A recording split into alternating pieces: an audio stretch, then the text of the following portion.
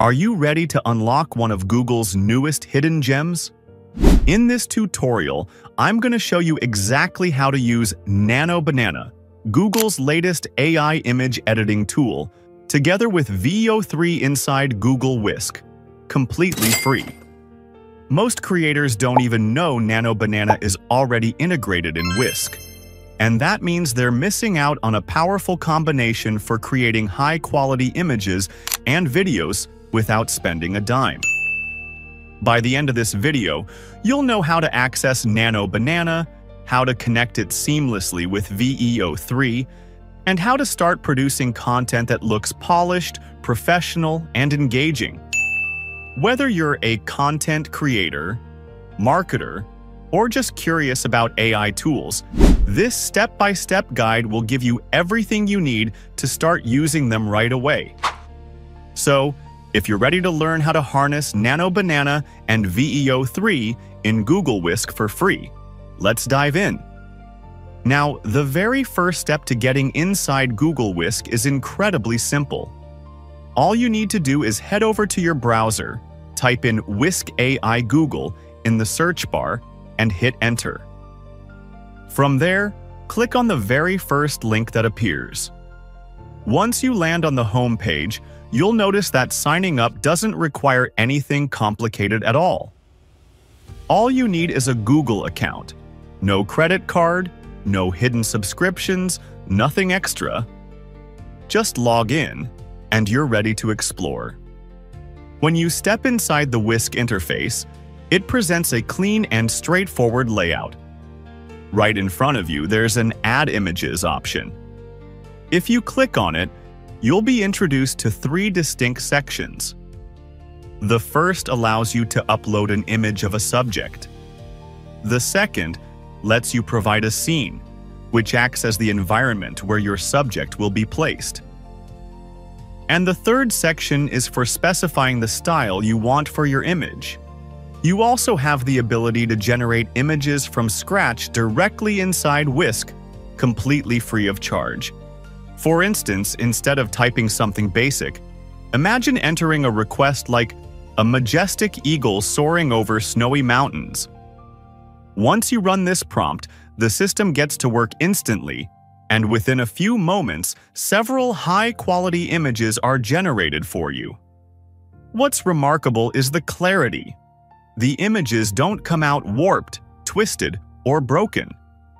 They're crisp, realistic, and visually stunning. These images are powered by ImageGen 4, one of Google's strongest AI models for generating visuals. However, when it comes to editing, the heavy lifting is taken over by Nano Banana, which is built specifically for refining and enhancing visuals. It's important to note that while Nano Banana is fantastic for editing, it isn't very reliable for creating images from scratch.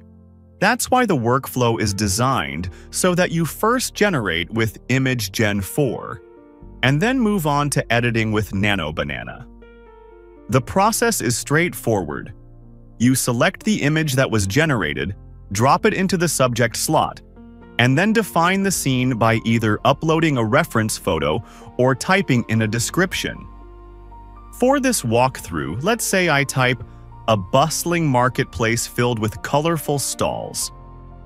Immediately, the AI begins combining your subject with the new scene.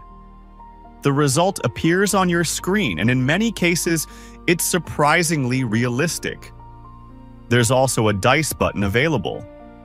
When you click it, Whisk introduces a little bit of randomness by automatically swapping out the scene or applying a new artistic style to your image.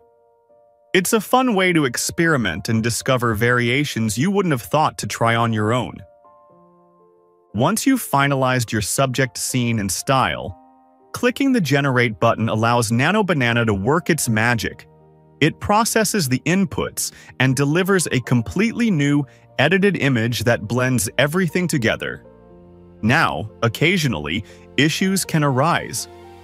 For example, if an image includes restricted content such as children, Google automatically blocks Nano Banana from editing it to maintain safety guidelines. In this case, I'll simply switch to a different scene. Here are the two images that Google's Nano Banana has generated for me. As you can see, both contain the same subject, but the overall style and the background scene are quite different. Interestingly, in one of the results, it seems Nano Banana skipped the background scene I had provided and instead only applied the artistic style along with the subject. Even so, the images turned out visually impressive, and the quality is strong enough to show just how powerful this tool can be. Now, let's take things further. I'll keep the subject the same, but this time I'm going to experiment by selecting a completely different style paired with a new scene. Once I lock in those choices and rerun the generation, the results are incredible. This time, Nano Banana perfectly preserved the subject while seamlessly blending it into the new scene, with the chosen artistic style applied consistently across the image. The workflow feels smooth, and the creative results are much more reliable compared to running editing prompts elsewhere.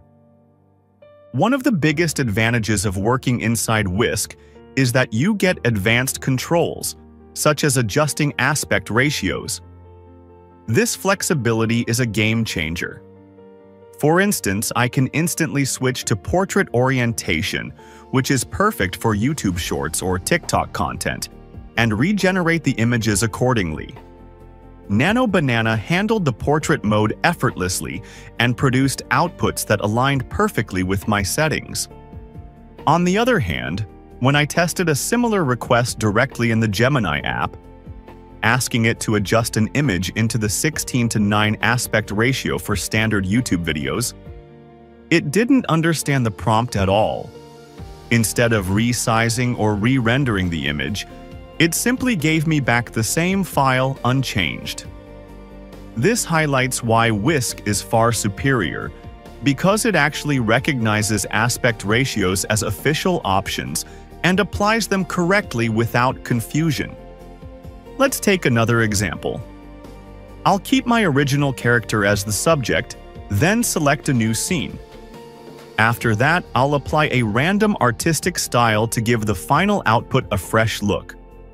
Once everything is set, I'll generate the result in the wide 16 to 9 ratio to match traditional YouTube video dimensions. The AI model produced two stunning images,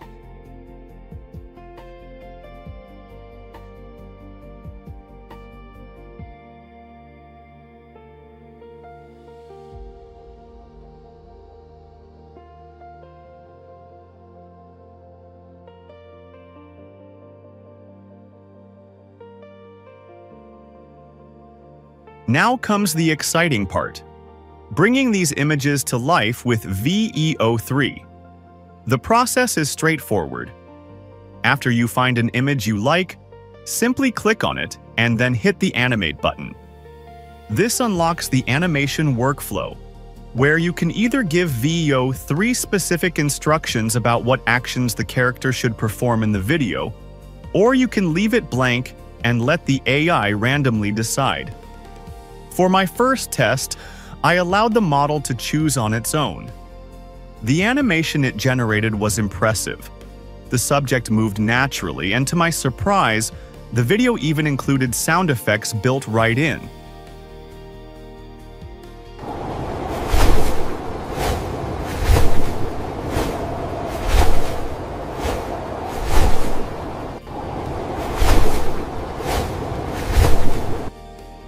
Occasionally, you might get a render without sound, but that's rare.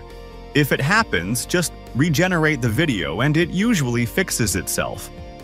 I also tried another test by animating a different image I had created with Nano Banana. The video VEO3 produced matched the style of the original picture beautifully. The movements, the pacing, and the overall tone stayed consistent which made the result look coherent rather than random.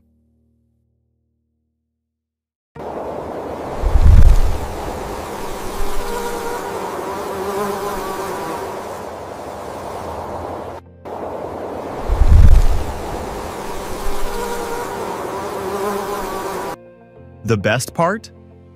Even though this is the free version, video generations are lightning fast and the overall workflow between Nano Banana, Whisk, and VEO3 feels smooth and intuitive. Do note that each account is limited to five free generations, but if you need more, you can always sign in with additional Google accounts to continue experimenting. That wraps up this tutorial. I hope you found it helpful and inspiring to see how these tools work together. Don't forget to try it yourself and start creating stunning images and videos. Thanks for watching, and I'll see you in the next one.